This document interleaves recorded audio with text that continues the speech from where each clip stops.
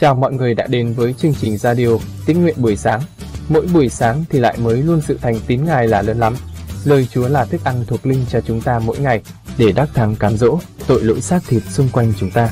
Ngài bổ lại linh hồn bạn, dẫn bạn vào các lối công bình. Vì cớ danh Ngài, Chúa thêm sức mới cho bạn. Chúa thêm lên cho bạn đức tin. Mỗi ngày càng gần Chúa và giống Chúa hơn và có mối quan hệ mật thiết với Chúa mỗi ngày. Chúa yêu bạn rất nhiều. Chương 10 Linh hồn tôi đã chán ngán sự sống tôi. Tôi sẽ buông thả lời than thở của tôi. Tôi sẽ nói vì cơn cay đắng của lòng tôi. Tôi sẽ thưa với Đức Chúa Trời rằng, xin chớ đoán phạt tôi. Hãy tỏ cho tôi biết nhân sao Chúa tranh luận với tôi. Chúa há đẹp lòng đè ép, khinh bỉ công việc của tay Ngài và chiếu sáng trên mưu trước của kẻ ác sao? Chúa có mắt xác thịt ư? Chúa thấy như người phàm thấy sao? Các ngày của Chúa há như ngày loài người ư? Các năm của Chúa há như năm loài người sao? Sao Chúa tra hạch gian ác tôi, tìm kiếm tội lỗi tôi? Dầu Chúa biết tôi chẳng phải gian ác, và không ai giải thoát khỏi tay Chúa. Tay Chúa đã dựng nên tôi, nắng giọt trót mình tôi, nhưng nay Chúa lại hủy diệt tôi. Xin Chúa nhớ rằng Chúa đã nắng hình tôi như đồ gốm, mà Chúa lại muốn khiến tôi trở vào tro bụi sao? Chúa há chẳng có rót tôi chảy như sữa, làm tôi ra đặc như bánh sữa ư. Chúa đã mặc cho tôi da và thịt, lấy xương và gân, đang tréo tôi. Chúa đã ban cho tôi mạng sống và điều nhân từ. Sự Chúa đói hoài tôi đã gìn giữ tâm hồn tôi. Dầu vậy, Chúa giấu các điều này nơi lòng Chúa. Tôi biết điều ấy ở trong tư tưởng của Ngài. Nếu tôi phạm tội, Chúa sẽ xem xét tôi, chẳng dung tha gian ác tôi. Nếu tôi làm hung ác, thì khốn cho tôi thay. Còn nếu tôi ăn ở công bình, tôi cũng chẳng dám ngước đầu lên, vì đã bị đầy dẫy sỉ nhục và thấy sự khổ nạn tôi. Ví bằng tôi ngước đầu lên, hẳn quả Chúa sẽ săn tôi như sư tử và tỏ ra nơi tôi quyền diệu kỳ của Ngài. Chúa đặt chứng mới đối nghịch tôi và gia thêm sự giận cùng tôi. Đau đớn liên tiếp và thì khốn khó theo tôi. Nhưng sao? Chúa đem tôi ra khỏi lòng mẹ tôi. Phải chi đã tắt hơi thì chẳng con mắt nào thấy tôi. Bằng vậy, tôi sẽ như đã không hề có, vì mới lọt lòng mẹ bèn bị đem đến mồ mã. Các ngày tôi há chẳng phải ít ỏi sao? Vậy Chúa ơi, khá ngưng dứt đi, hãy dời khỏi tôi đi, để tôi được an ủi một chút. Trước khi tôi đi đến xứ tối tăm và bóng sự chết, không hề trở lại. Tức đất tối đen như mực, là miền có bóng sự chết, chỉ có sự hỗn độn tại đó, và ánh sáng không khác hơn tối tăm. Chương 11 Sofa người Naama đáp lại mà rằng Há chẳng nên đáp lại lời nói nhiều sao? Người già miệng há sẽ được xưng là công bình ư? Chớ thì các lời khoe khoang của ông sẽ khiến người ta nín sao? Khi ông nhạo báng, há không có ai bỉ mặt ông ư? Vì ông thưa cùng Đức Chúa Trời rằng, đạo lý tôi là thanh tịnh, tôi không nhơ bợn trước mặt Chúa. À, chớ gì đẹp lòng Đức Chúa Trời mà phán, và mở miệng Ngài đáp lời nghịch cùng ông. Ước chi, Ngài chỉ tỏ cho ông biết sự bí mật của sự khôn ngoan, vì Ngài thông hiểu bội phần. Vậy khá biết rằng, Đức Chúa Trời phạt ông lại không xứng với tội gian ác của ông. Nếu ông dò xét, há có thể hiểu biết được sự sâu nhiệm của Đức Chúa Trời và thấu rõ đấng toàn năng sao? Sự ấy vốn cao bằng các tầng trời, vậy ông sẽ làm gì? Sâu hơn âm phủ, ông hiểu biết sao đặng. Bề dài sự ấy lại hơn cỡ trái đất và rộng lớn hơn biển cả. Nếu Đức Chúa Trời đi ngang qua, bắt người ta cầm tù và đòi ứng hầu đoán xét, thì ai sẽ ngăn trở Ngài được? Vì Ngài biết những người giả hình, xem thấy tội ác mà loài người không cảm biết đến. Nhưng chừng nào lừa con rừng sinh ra làm người, thì chừng nấy người hư không mới trở nên thông sáng. Vậy, nếu dọn lòng cho xứng đáng và giơ tay mình ra hướng về Chúa. Bằng có tội ác trong tay ông mà ông bỏ xa khỏi mình, chẳng để sự bất công ở trong trại mình. Bây giờ, ông hẳn sẽ ngước mắt lên không tì vít gì. Thật sẽ được vững vàng, chẳng sợ chi. Ông sẽ quên các điều hoạn nạn mình và nhớ đến nó như nước đã chảy qua. Đời ông sẽ sáng sủa hơn ban trưa. Dẫu nay tối tăm, sau sẽ hóa ra như buổi sáng. Ông sẽ ở bình an vô sự vì có sự trông cậy. Ông sẽ tìm tòi bốn bên, rồi nghỉ ngơi yên hàng vô sự. Lại ông sẽ nằm, không ai làm cho mình sợ hãi, và lắm người sẽ tìm ơn của ông. Nhưng mắt kẻ hung ác sẽ bị hao mòn, nó chẳng có nơi ẩn núp, và điều nó sẽ trông mong, ấy là sự tắt hơi. Chương 12 Job đáp lại rằng Hẳn chi các ngươi thật là người Sự khôn ngoan sẽ đồng chết mất với các ngươi mà chớ. Xong ta cũng có sự thông sáng như các ngươi Chẳng kém hơn đâu Mà lại ai là người không biết những việc như thế? Ta đã cầu khẩn Đức Chúa Trời Và Đức Chúa Trời đáp lời cho ta. Nay ta thành ra trò cười của bầu bạn ta Người công bình Người trọn vẹn đã trở nên một vật chê cười Lòng người nào ở an nhiên khinh bỉ sự tai họa. Tai họa thường sẵn dán trên kẻ nào trợt chân vấp ngã. Trại của kẻ cướp được may mắn, những kẻ chọc giận Đức Chúa Trời ở bình an vô sự và được Đức Chúa Trời phó vào tay mình nhiều tài sản dư dật. Nhưng khá hỏi loài thú, chúng nó sẽ dạy dỗ ngươi, hỏi các chim trời thì chúng nó sẽ bảo cho ngươi. Hoặc nữa, hãy nói với đất, nó sẽ giảng dạy cho ngươi, còn những cá biển sẽ thuật rõ cho ngươi biết. Trong các loài này, loài nào chẳng biết rằng tay của Đức Chúa Trời đã làm ra những vật ấy. Trong tay Ngài cầm hồn của mọi vật sống và hơi thở của cả loài người. Lỗ tai há chẳng xét lời nói như ổ gà nếm những thực vật sao? Người già cả có sự khôn ngoan, kẻ hưởng trường thọ được điều thông sáng. Nơi Đức Chúa Trời có sự khôn ngoan và quyền năng, mưu luận và thông minh đều thuộc về Ngài. Kìa, Ngài phá hủy, loài người không cất lại được. Ngài giam cầm người nào, không ai mở ra cho. Này, Ngài ngăn nước lại, nước bèn khô cạn, đoạn Ngài mở nó ra, nó bèn làm đồi tàn đất. Tại nơi Ngài có quyền năng và khôn ngoan, kẻ bị lầm lạc và kẻ làm cho lầm lạc đều thuộc về Ngài. Ngài bắt dẫn tù những kẻ bày mưu, khiến các quan xét ra điên dại. Ngài mở trói cho các vua và thắt xiềng xích nơi lưng họ. Ngài bắt dẫn tù những thầy tế lễ, đánh đổ các kẻ cường quyền. Ngài cất lời khỏi kẻ nói thành tín, làm cho kẻ già cả mất trí khôn. Ngài giáng điều sỉ nhục trên kẻ sang trọng, tháo dây lưng của người mạnh bạo. Ngài bày tỏ những sự sâu nhiệm ẩn trong tâm tối và khiến bóng sự chết hóa ra sáng sủa.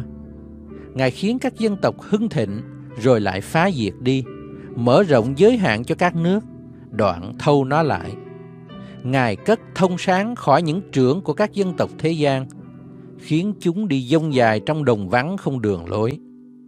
Chúng rờ đi trong tối tăm không có sự sáng, và Ngài làm cho họ đi ngã nghiêng như kẻ say. Thi Thiên 11 Tôi nương náu mình ở Đức Giê-hô-va. Sao các ngươi nói cùng linh hồn ta hãy trốn lên núi ngươi như con chim? Vì kìa, kẻ ác dương cung tra tin mình trên dây đặng bắn trong tối tâm kẻ có lòng ngay thẳng. Nếu các nền bị phá đổ, người công bình sẽ làm sao? Đức Giê-hô-va ngự trong đền thánh Ngài, ngôi Ngài ở trên trời. Con mắt Ngài nhìn xem, mí mắt Ngài dò con loài người. Đức Giê-hô-va thử người công bình, nhưng lòng Ngài ghét người ác và kẻ ưa sự hung bạo. Ngài sẽ giáng xối trên kẻ ác những bẫy, lửa và diêm. Một ngọn gió phỏng sẽ là phần của chúng nó. Vì Đức Giê-hô-va là công bình. Ngài yêu sự công bình những người ngay thẳng sẽ nhìn xem mặt Ngài. Chương 16 Đức Chúa Giêsu lại phán cùng môn đồ rằng Người giàu kia có một quản gia bị cáo với chủ rằng người tiêu phá của chủ. Vậy chủ đòi người đó mà nói rằng, Ta nghe nói về ngươi nổi chi Hãy khai ra việc quản trị của ngươi. Vì từ nay, ngươi không được cai quản gia tài ta nữa. Người quản gia tự nghĩ rằng, Chủ cách chức ta Ta sẽ làm gì? Làm ruộng thì ta không có sức làm nổi, Còn đi ăn mày thì hổ ngươi. Ta biết điều ta sẽ làm. Để khi bị cách chức, Có kẻ tiếp rước ta về nhà. Người ấy bèn gọi riêng từng người mắc nợ chủ mình đến Và hỏi người thứ nhất rằng, Ngươi mắc nợ chủ ta bao nhiêu? Trả lời rằng, một trăm thùng dầu Quản gia nói rằng, Hãy cầm lấy tờ khế, ngồi xuống đó viết mau, năm chục Rồi hỏi người kia rằng, Còn ngươi mắc bao nhiêu? Trả lời rằng, một trăm hộp lúa mì Quản gia rằng, hãy cầm lấy tờ khế và viết tám chục Chủ bèn khen quản gia bất nghĩa ấy về việc người đã làm khôn khéo như vậy. Vì con đời này trong việc thông công với người đồng đời mình thì khôn khéo hơn con sáng láng. Còn ta nói cho các ngươi, hãy dùng của bất nghĩa mà kết bạn, để khi của ấy hết đi, họ tiếp các ngươi vào nhà đời đời. Ai trung tín trong việc rất nhỏ, cũng trung tín trong việc lớn. Ai bất nghĩa trong việc rất nhỏ, cũng bất nghĩa trong việc lớn. Vậy, nếu các ngươi không trung tín về của bất nghĩa, có ai đem của thật giao cho các ngươi? Nếu các ngươi không trung tín về của người khác, ai sẽ cho các ngươi được của riêng mình? Không có đầy tớ nào làm tôi hai chủ được, vì sẽ ghét chủ này mà yêu chủ kia, hay là hiệp với chủ này mà khinh dễ chủ kia. Các ngươi không có thể đã làm tôi Đức Chúa Trời lại làm tôi ma môn nữa. Người Pharisee là kẻ ham tiền bạc, nghe mọi điều đó bèn chê cười Ngài. Ngài phán cùng họ rằng, các ngươi làm bộ công bình qua mặt người ta, song Đức Chúa Trời biết lòng các ngươi. Vì sự người ta tôn trọng là sự gớm ghiếc trước mặt Đức Chúa Trời. Luật pháp và các lời tiên tri có đến đời văn mà thôi. Từ đó, tin lành của nước Đức Chúa Trời được truyền ra và ai nấy dùng sức mạnh mà vào đó. Trời đất qua đi còn dễ hơn một nét chữ trong luật pháp phải bỏ đi. Ai bỏ vợ mình mà cưới vợ khác thì phạm tội tà dâm. Ai cưới đàn bà bị chồng đẻ thì cũng phạm tội tà dâm. Có một người giàu mặc áo tía và áo bằng vải gai mịn, hàng ngày ăn ở rất là sung sướng lại có một người nghèo tên là Lazarơ nằm ngoài cửa người giàu đó, mình đầy những ghẻ. Người ước ao được ăn những đồ ở trên bàn người giàu rớt xuống. Cũng có chó đến liếm ghẻ người. Và người nghèo chết, thiên sứ đem để vào lòng Abraham. Người giàu cũng chết, người ta đem chôn. Người giàu ở nơi âm phủ đang bị đau đớn, ngước mắt lên, xa thấy Abraham và Lazarơ trong lòng người bèn kêu lên rằng, Hỡi Abraham tổ tôi, Xin thương lấy tôi. Sai Lazarơ nhúng đầu ngón tay vào nước đặng làm cho mát lưỡi tôi, Vì tôi bị khổ trong lửa này quá đổi. Nhưng Abraham trả lời rằng, Con ơi, Hãy nhớ lại lúc ngươi còn sống đã được hưởng những sự lành của mình rồi. Còn Lazarơ phải những sự dữ. Bây giờ nó ở đây được yên ủi, Còn ngươi phải bị khổ hình vả lại, có một vực sâu ở giữa chúng ta với ngươi. Đến nỗi ai muốn từ đây qua đó không được, mà ai muốn từ đó qua đây cũng không được. Người giàu nói rằng, Tổ tôi ơi, vậy thì xin sai Lazarơ đến nhà cha tôi, vì tôi có năm anh em. Đặng người làm chứng cho họ về những điều này, kẻo họ cũng xuống nơi đau đớn này chăng? Abraham trả lời rằng, chúng nó đã có môi xe và các đấng tiên tri, chúng nó phải nghe lời các đấng ấy. Người giàu nói rằng, Thưa Abraham tổ tôi, không phải vậy đâu. Nhưng nếu có kẻ chết sống lại đến cùng họ, thì họ sẽ ăn năn. Song Abraham rằng, nếu không nghe môi xe và các đấng tiên tri, thì dầu có ai từ kẻ chết sống lại, chúng nó cũng chẳng tin vậy. Chương 17 Đức Chúa Giêsu lại phán cùng môn đồ rằng không thể khỏi xảy đến sự gây nên phạm tội được. Song khốn thay cho ai là kẻ làm ra sự ấy. Nếu ai gây cho chỉ một kẻ nhỏ này phạm tội, thì thà rằng buộc cối đá vào cổ nó mà quăng xuống biển còn hơn. Các ngươi hãy giữ lấy mình. Nếu anh em ngươi đã phạm tội, hãy quở trách họ, và nếu họ ăn năn thì hãy tha thứ.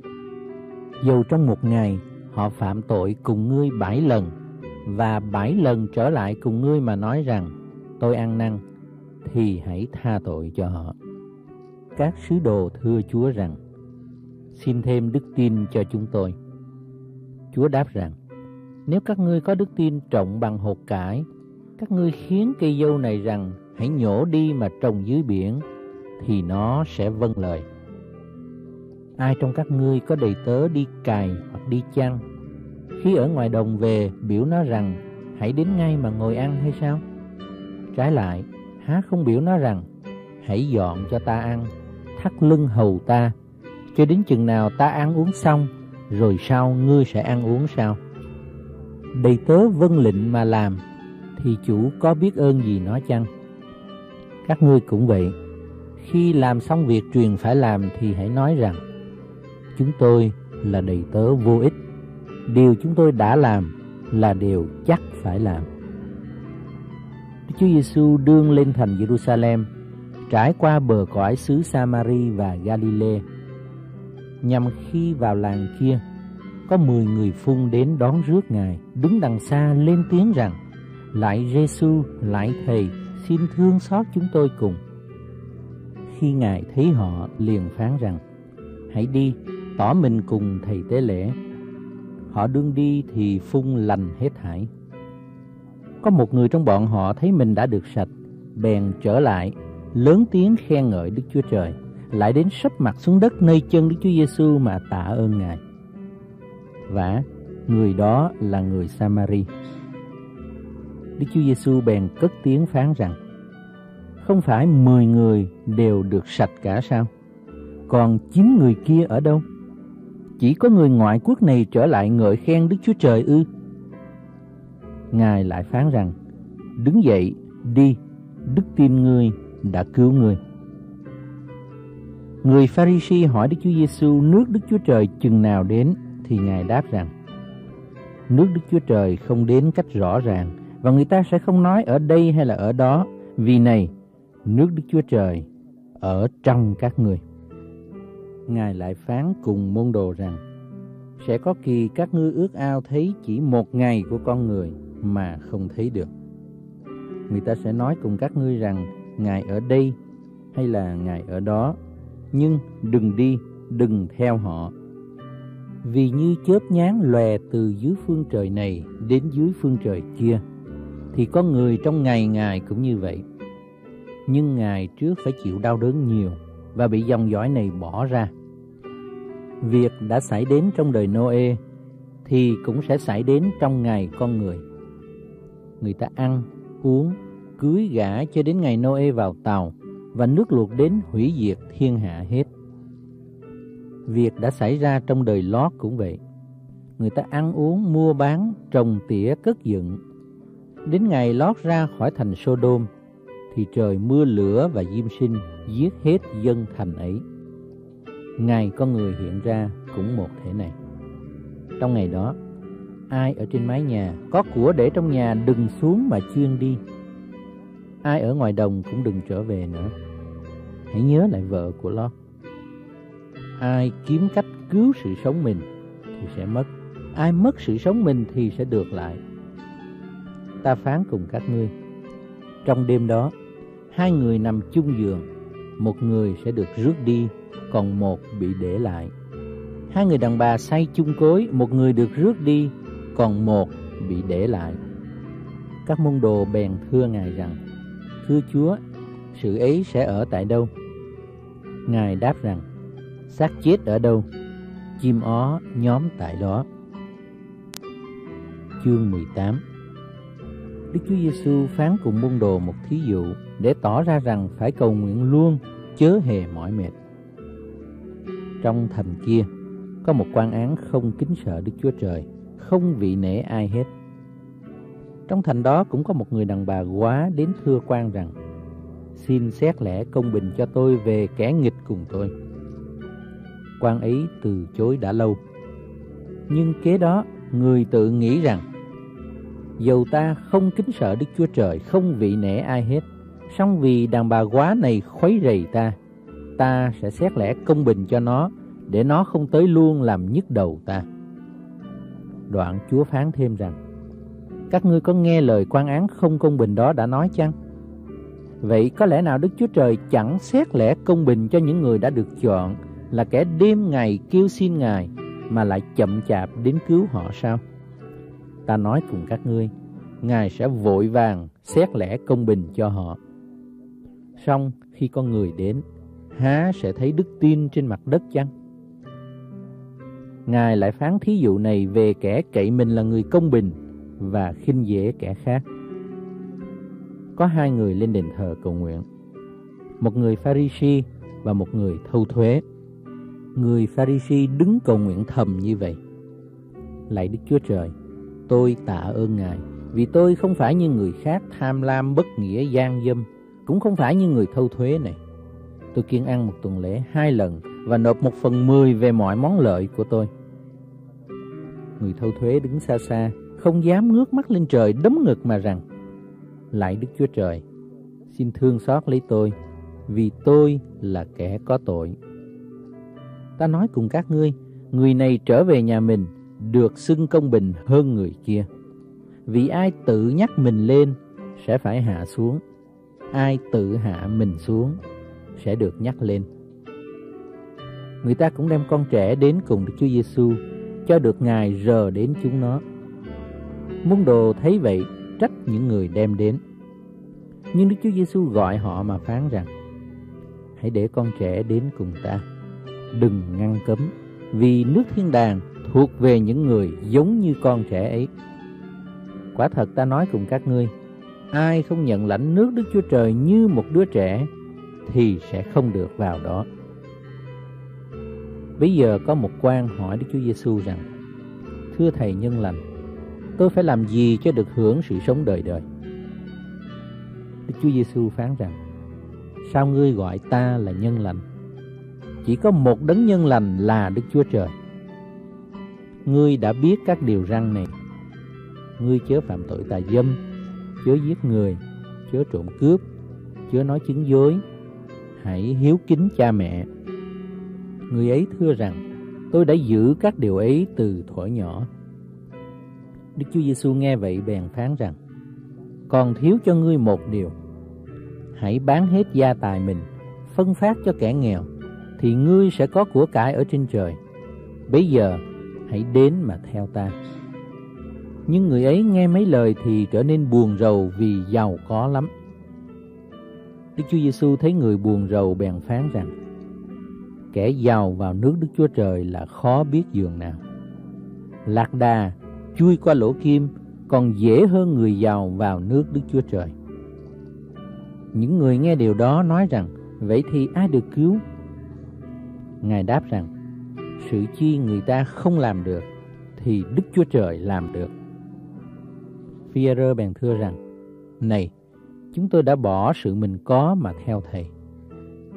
Đức Chúa Giêsu phán rằng: Quả thật ta nói cùng các ngươi, người nào vì cớ nước Đức Chúa Trời mà bỏ nhà cửa, cha mẹ, anh em, vợ con thì trong đời này được lãnh nhiều hơn và đời sau được sự sống đời đời.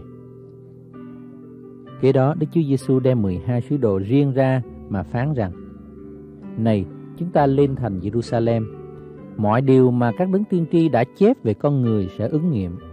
Vì Ngài sẽ bị nộp cho dân ngoại, họ sẽ nhạo báng Ngài, mắng nhiếc Ngài, nhổ trên Ngài. Sau khi đánh đòn rồi thì giết Ngài đi. Đến ngày thứ ba, Ngài sẽ sống lại. Song các môn đồ không hiểu chi hết, vì nghĩa những lời đó kín dấu cho môn đồ, nên không rõ ý Đức Chúa Giêsu nói là gì. Đức Chúa Giêsu đến gần thành Jericho, có một người đuôi ngồi xin ở bên đường. Nghe đoàn dân đi qua, bèn hỏi việc gì đó. Người ta trả lời rằng, Ấy là Giêsu người Nazareth đi qua. Người đuôi bèn kêu lên rằng: Lạy Giêsu con vua David xin thương xót tôi cùng. Những kẻ đi trước rầy người cho nín đi. Xong người càng kêu lớn hơn nữa rằng lại con vua David xin thương xót tôi cùng. Đức Chúa Giêsu dừng lại, truyền đem người đến. Khi người đuôi lại gần thì Ngài hỏi rằng, Ngươi muốn ta làm gì cho? Thưa rằng, lại Chúa, xin cho tôi được sáng mắt lại. Đức Chúa Giêsu phán rằng, hãy sáng mắt lại, đức tin của ngươi đã chữa lành ngươi. Tức thì người sáng mắt đi theo Đức Chúa Giêsu ngợi khen Đức Chúa Trời. Hết thảy dân chúng thấy vậy đều ngợi khen Đức Chúa Trời. Cảm ơn Chúa lời của Ngài bày tỏ cho con.